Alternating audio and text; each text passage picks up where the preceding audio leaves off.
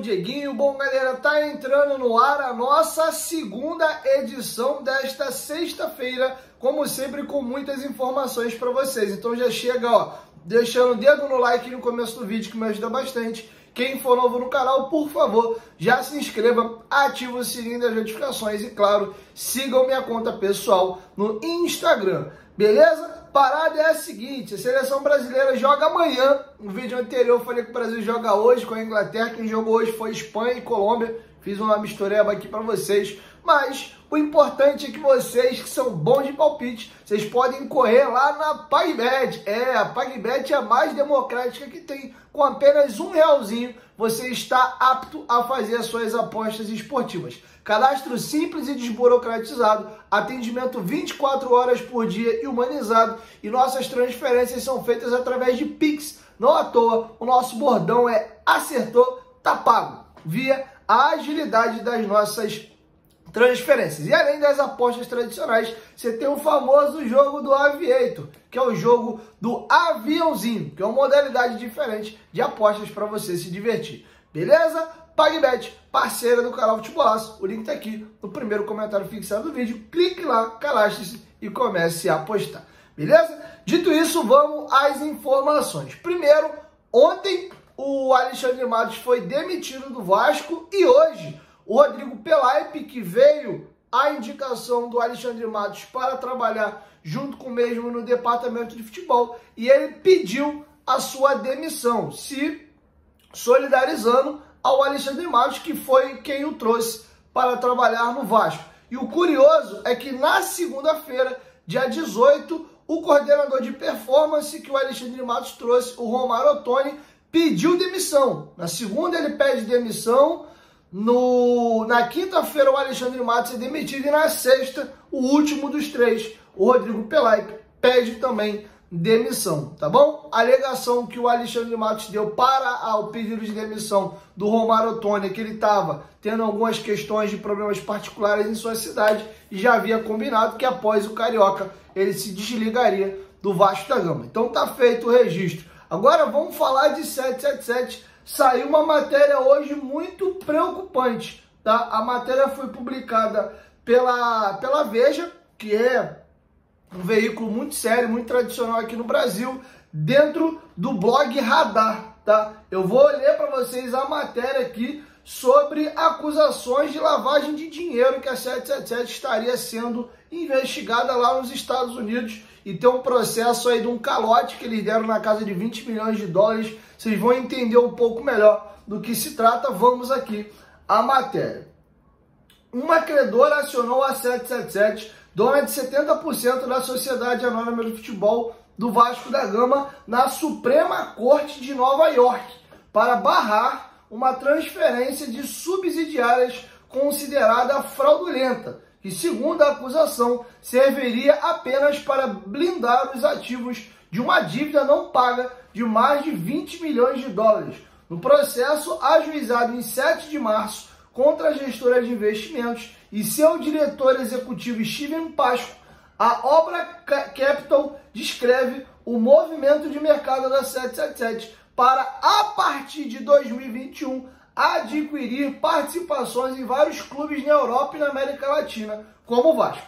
E as interrogações sobre a saúde financeira de suas operações deixadas pela chamativa manobra de baratona de compras e desandaram a comprar clube ao redor do mundo e segundo a empresa que está levando o caso para a Suprema Corte de Nova York, a empresa, no caso aqui, é a Obra Capital alega que isso é uma manobra deles para poder estar fugindo da insolvência e das dívidas. Vamos pegar um trecho aqui do que disse a empresa. Sua aquisição do Everton por 700 milhões de dólares estava travada há meses, porque a 777 não providenciou balanços financeiros auditados dos últimos dois anos aos reguladores. Segundo relatos, o Departamento de Justiça dos Estados Unidos está investigando a 777 por lavagem de dinheiro e outras infrações.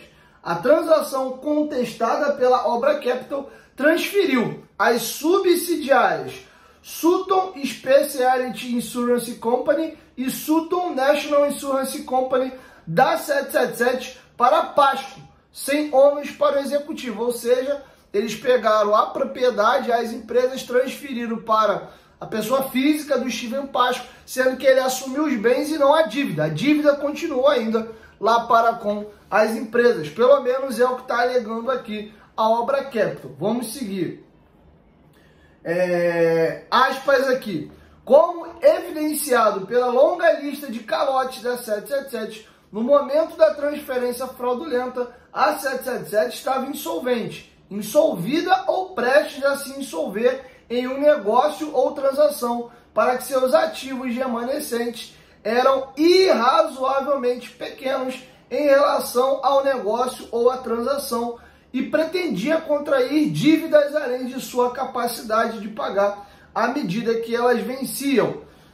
Além do Vasco da Gama no Brasil, a empresa também tem participações majoritárias em outros quatro clubes europeus de futebol. Hertha Berlim da Alemanha, o Genoa da Itália, o Standard Liège da Bélgica e o Red Star da França.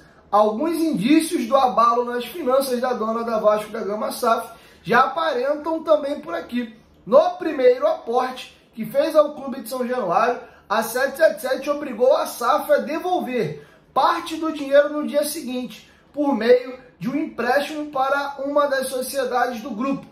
O mal-estar causado por essa manobra fez com que um conselho fiscal da SAF reagisse de forma dura. Conselheiros fizeram constar em ata que aquele subterfúgio não seria mais permitido. Aqui cabe um parênteses para eu explicar para vocês, isso aconteceu sim, isso inclusive estava na Vasco TV? Não, isso estava na CRVG TV. Se vocês forem lá em lives mais antigo e pegar uma das primeiras reuniões de conselho deliberativo, isso foi discutido e foi votado em reunião de conselho. Logo assim que a 777 fez aquele primeiro aporte ainda para o Vasco, lá em 2022, no dia seguinte, depois do dinheiro bater aqui, eles pegaram um percentual de, do dinheiro e levaram de volta para a 777, fazendo uma espécie de empréstimo. O Vasco tinha ciência de que eles solicitaram recurso e a 777 teve que devolver esse dinheiro com juros né, e correção monetária é, da época, inclusive, segundo, como se eles tivessem pego esse dinheiro numa instituição financeira de fora. Então o Vasco recebeu o dinheiro de volta mais juros, mas a 777 tinha feito esse movimento primeiramente sem consultar o Vasco. Isso deu muito problema, foi pauta de reunião de conselho deliberativo e realmente a época a chapa esquentou e sim, esse movimento é verídico. Isso aconteceu de fato no Vasco com a 777. Beleza? Já no segundo aporte, no ano passado, a empresa atrasou o repasse em mais de um mês. O pagamento só foi realizado depois que a diretoria do Vasco, recorrendo a dispositivos contratuais, notificou a 777 no sentido de exercer o seu bônus de subscrição, o que diluiria a participação dos norte-americanos na SAF. A parcela do aporte prevista para esse ano, no valor de 270 milhões, é a maior delas, não se sabe se a 777 terá condições de cumprir com o acordo. Então a matéria é da, da Veja, feita no blog Radar dentro da própria Veja. Tá? Então a empresa está sendo investigada por lavagem de dinheiro na Suprema Corte de Nova York. Tem também essa empresa, a Obra Capital, acusando eles de transferirem ativos de duas empresas que estavam ficando insolventes. E eles teriam que falir os bens, né? Ser partilhado, penhorado etc. Para se diluir e ir pagando os credores. E eles transferiram os ativos para o cabeça do negócio, que é o Steven Pasco. Até aquele é, é o proprietário mais velho né, da 777, sendo que eles transferiram os bens e não a dívida. A dívida ficou para as empresas e os ativos passaram para o Steven Pasco, que foi relatado dois problemas que teve no Vasco o primeiro realmente teve esse dinheiro que eles mandaram aqui no dia seguinte. Eles já pegaram o dinheiro de volta e depois tiveram que devolver com juros e correção monetária.